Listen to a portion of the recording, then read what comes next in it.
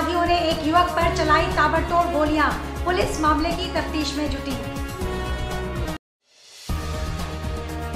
तेलको main road पर नाले का पानी आने से राहगीर हो रहे परेशान। नाले के गंदे पानी से हो रहा जल जमाव।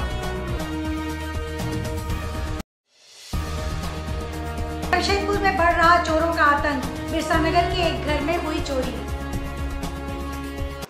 आदित्यपुर थाना अंतर्गत सालडी बस्ती निवासी सुभाष प्रमाणिक नामक युवक को मंगलवार तड़के अज्ञात अपराधियों ने गोली मारकर घायल कर दिया। आनंद फानंद में सुभाष को टीएमएच ले जाया गया, जहाँ उसकी हालत चिंताजनक बनी हुई है। मिली जानकारी के अनुसार अपराधियों ने सुभाष को तीन गोली मारी है। मंगलवार की सुबह सुभाष अपने घर के पास बने सामुदायिक भवन के पास टहल रहा था। इसी दौरान पैदल पहुँचे आधा दर्जन अपराधियों ने सुभाष पर अंधाधुंध फायरिंग कर दी। गोली सुभाष के कंधे में लगी है। मौके से चार खोखा बरामद किया गया। सूचना मिलते ही आदित्यपुर थाना पुलिस मामले की तफ्तीश में जुट गई है। बताया जा रहा है कि सुभाष कृष्णा गोप हत्याकांड का गवाह थाना को सूचना प्राप्त हुई कि साली बस्ती में गोली चलने की घटना हुई है। उसी क्रम में लगातार टीम यहाँ आकर आगे की तफ्तीश कर रही है और जल्द ही जो भी अपराधी इसमें संलिप्त होंगे उनको पकड़ लिया। जो सामने आया है सुभाष प्रमाणिक नाम आ रहा है घायल का। और ज़रूरी सूचनाएँ उपलब्ध कर तीन प्लेट गोलचक्कर के पास तीन तिनको मेन रोड पर नाले का पानी सड़क पर आ गया है। नाले का गंदा पानी सड़क पर आने से यहाँ जल भराव हो गया है। बरसात में जल भराव बढ़ गया है। आने जाने वाले लोगों को परेशानी हो रही है। भाजपा नेता अप्पा राव ने मंगलवार को सांची जाकर जेएनएससी के अपर नगर आयुक्त कृष्णा कुमार से मामले की शिकायत की। अप्पा राव ने बताया कि वह पहले भी मामले की शिकायत कर चुके हैं। इसको कंपनी जो है बहुत सारा काम किया यहाँ। ऐसा नहीं है कि काम नहीं किया। बार बार हम लोग इसके लिए आवेदन दिए हैं, बराबर विरोध करते रहे सोशल मीडिया के माध्यम से फेसबुक के माध्यम से। अभी दो महीना से ये हाल बरसात में जो इतना बुरा हाल है कि क्या बोलेगा? दो महीना में किसी को नज़र नहीं पड़ रहा है कि ये करना है। तो बार बार विरोध कर रहे हैं तो अभी लगता है वहाँ सफ़ाई सफ़ाई का काम चालू किया है, लेकिन इससे कुछ सम- समाधान नहीं होने वाला। मेन समस्या है यहाँ पे। यहाँ से पानी घुसेगा तब न वो समस्या का समाधान होगा। अब देख रहे हैं अभी आपके सामने में आप देखें ना गाड़ी से छिटक गया तो आदमी एक दूसरे को गाली गलौज करने लगा। तो इतना गंदगी पानी जा रहा है यहाँ से। गंदगी पानी जा रहा है, जिसके चलते जो है यहाँ से मंदिर भी है, यहाँ का लोग जो है, डेली हमारे पास आकर के बोलते हैं, भाई आप इसमें पहल कीजिए। तो आज हम लोग नगर उपायुक्त नगर आयुक्त साहब से भी मिले हैं, कृष्ण कुमार जी से भी। तो उन्होंने भी आश्वासन दिया कि इनका समाधान कराएँगे करके। जमशेदपुर में एक बार फिर नगर के एक घर में चोरी की घटना को अंजाम दिया। जोन नंबर छह, होल्डिंग नंबर 277 बी के रहने वाले टेल्को कंपनी के रिटायर्ड कर्मी देवेंद्र सिंह के घर में चोरों ने घटना को अंजाम दिया। देवेंद्र सिंह अपना इलाज कराने के लिए पिछले चार महीने से परिवार के साथ दिल्ली गए हुए हैं, जबकि घर की रखवाली के लिए पड़ोस के रहने वाले रामकृष्ण राव को ज़िम्मेदारी दी गई। उसने बताया कि बीती रात दो बजे के लगभग क्षेत्र के युवकों ने सूचना दी कि घर का सामान बाहर रखा हुआ है। उसके बाद वे पहुँचे तो देखा कि घर के मुख्य दरवाज़ा सहित तीन कमरे का ताला टूटा हुआ है और घर के तीनों कमरे की अलमारी और पलंग बॉक्स का सामान बिखरा पड़ा हुआ था। इन्वर्टर बाहर रखा हुआ था। इसके बाद उन्होंने बिरसा नगर थाना को सूचना दी। पुलिस ने पहुँचने के बाद घर सहित आसपास के क्षेत्र की जाँच की, जहाँ पाया कि चोर घर के पीछे की दीवार फांद कर पाइप के सहारे घर में प्रवेश किए और बिजली की लाइन काटकर घटना को अंजाम दिया गया। इस घटना को लेकर रामकृष्ण राव और परिवार के एक सदस्य ने बताया कि लगभग चार से पाँच लाख की चोरी हुई है। फ़िलहाल पुलिस सीसीटीवी के सहयोग से चोर को पकड़ने का प्रयास कर रही है। तो रात को पौने दो बजे डी का पोसा जो है, फ़ोन किया कि, अंकल मेरे नीचे में जो है एक इन्वर्टर है और दो दो लड़का है नीचे में। तो बोला क्या हो गया? नीचे में? तो फिर बोला नहीं नहीं हम ही लोगों को लगता है इन्वर्टर है। तब तक हम जो है बाहर निकल के ग्रिल से जब झाँकने लगा तो देखा कि मनीष ना? मनीष और क्या नाम है? विकास। विकास। तो हम दोनों खड़ा था। तो बोला क्या हुआ? अंकल जल्दी आइए जल्दी आइए। हम बोला क्या हुआ?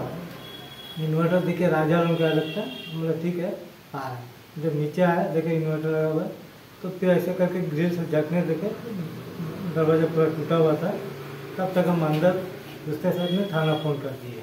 थाना जो है फिर आधा घंटे बाद थाना पहुँच गया पीसीआर भी पहुँचा विशानगर थाना भी पहुँचा तो तब तक वो लोगों को लेके हम अंदर घुसा, तब तक देख रहे कि पूरा तीनों अलमारी तोड़ा हुआ है इन्वर्टर का बैटरी सब कनेक्शन खुला हुआ है मीटर का कनेक्शन खुला हुआ है। तब तक पुलिस ने देखा, फिर बाहर जब निकल के देखा तो एक सीमेंट का बोरा में इतना बड़ा बड़ा कटर और दो टो राड उसमें रखा हुआ है। तो बड़ा वो कि छोटा हुआ रखा है, वो लेके चला गया उसका बाद में सुबह में आएँगे बोला। राज्य के पंचायत सचिव ग्रेड पे बढ़ाने की मांग कर रहे हैं। उनकी मांग है कि उनका ग्रेड पे 2000 से बढ़ाकर 2400 कर दिया जाए। साथ ही 50 प्रतिशत पंचायत सचिवों को बीपीआरओ के पद पर प्रमोशन देने की भी मांग है। इस मांग को लेकर प्रदेश भर के पंचायत सचिव हड़ताल पर हैं। पूर्वी सिंहभूम ज़िले के सारे पंचायत सचिव हड़ताल पर चले गए हैं। साक्षी में डीसी ऑफ़िस के सामने पंचायत सचिवों ने धरना प्रदर्शन भी किया। साल पे जा रहे हैं। हमारे मुख्य मांग जो है ग्रेड पे। जो जो कि पंचायत सचिव जो ऐसा पद है, जो पंचायत सचिव सारे ए टू जेड सब पंचायत सचिव के द्वारा निष्पादन किया जाता है। फिर भी सरकार से हम लोग 2010 से ये मांग, पुराना मांग है। चौबीस सौ ग्रेड पे और पंचायत सचिव से बीपीआरओ के पोस्ट में प्रमोशन 50 परसेंट प्रमोशन ये दोनों मांग के चलते पुराना मांग है, हम लोग करते आ रहे हैं। लेकिन सरकार, हम लोग का मांग, सरकार ने प्राप्त नहीं किया हम लोग को, तब तक हम लोग अनिश्चित के लिए हड़ताल पर रहेंगे। जमशेदपुर के दौरे पर पहुँची बड़का गाँव की विधायक अंबा प्रसाद ने चंपाई सोरेन प्रकरण पर पूछे गए सवालों के जवाब में कहा कि मैं अभी राजनीति में बच्ची हूँ और अभी बहुत कुछ सीखना बाकी है। मुझे एक लंबे समय तक झारखंड की राजनीति के भीष्म पितामह चंपाई दादा के साथ में काम करने का अवसर प्राप्त हुआ है, जहाँ मैंने राजनीति के कई गुण उनसे सीखे हैं। हमारा संबंध एक परिवार की तरह है और उन पर टिप्पणी करने के लिए अभी मैं बहुत छोटी हूँ। समय इंसान को बहुत कुछ सिखा देता है। जहाँ हमने कुछ दिन पहले लोकसभा चुनाव के दौरान कई नेताओं को नई विचारधारा के साथ जुड़ते हुए देखा है, मगर उन नेताओं को जनता ने नकार दिया है। अब चंपाई दादा एक नए विचारधारा के साथ अपनी एक नई पारी की शुरुआत करने जा रहे हैं, जहाँ दादा की नई पारी का फैसला जनता करेगी। बड़े बड़े पूरे देश में अलग अलग उदाहरण कई सारे हैं कि लोग काफ़ी कंट्रीब्यूट करते हैं सोसाइटी को।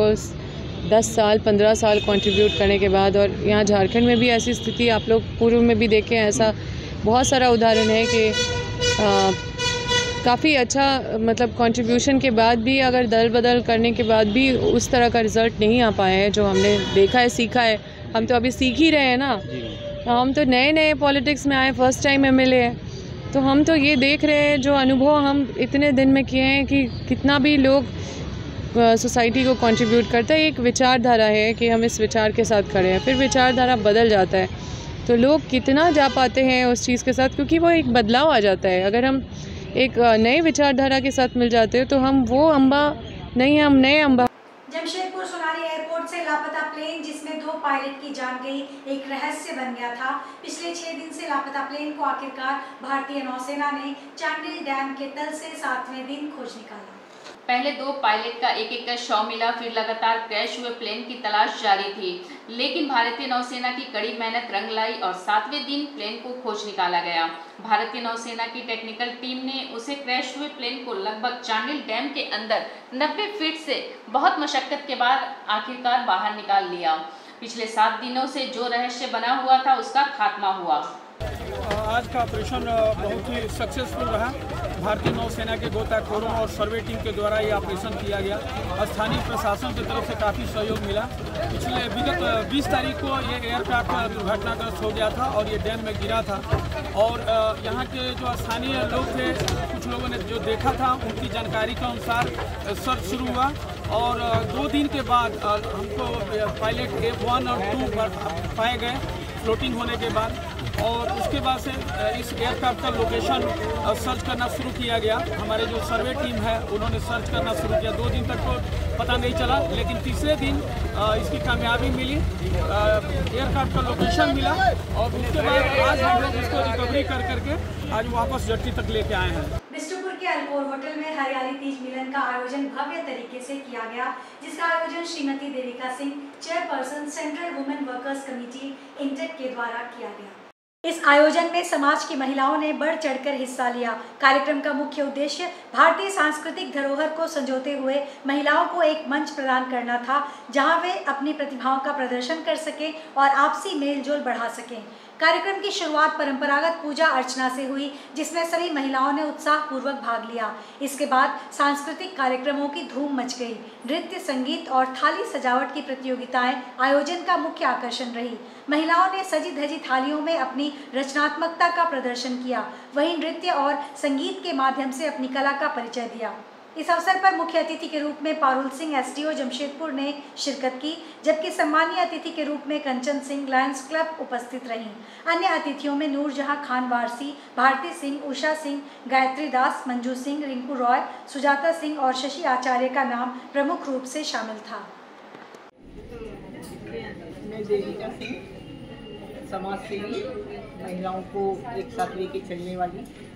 आज हम लोग हरियाली तीज मनाएँ, क्योंकि हम लोग बहुत, जितनी महिलाएँ यहाँ बैठी हैं सब कुछ ना कुछ कार्य करते हैं। कोई ना कोई फैक्ट्री में है, कहीं हम लोग स्कूल में हैं, कोई हम लोग ऑफ़िस में है। तो मुझे लगा कि उससे थोड़ा हट के हम लोग को करना चाहिए। और पूरे शहर में एक महीना से मैं देख रही थी, बहुत सारा सावन मिलन हो रहा था। मुझे लगा कि सावन मिलन इतना हो गया, अब छः को तीज है तो क्यों ना हम लोग थोड़ा सा एक तीज उत्सव मना लें? और यही सोच के आ, मैं अपने सखियों के साथ हरियाली तीज उत्सव आज यहाँ पर आज के इस बुलेटिन में बस इतना ही। हम फिर हाजिर होंगे कुछ और नई खबरों के साथ। तब तक के लिए एस न्यूज़ की पूरी टीम की ओर से मुझे दीजिए इजाज़त। नमस्कार।